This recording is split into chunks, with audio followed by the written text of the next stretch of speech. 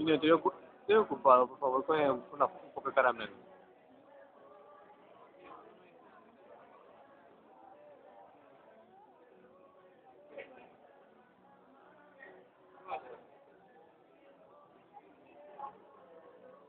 Ah.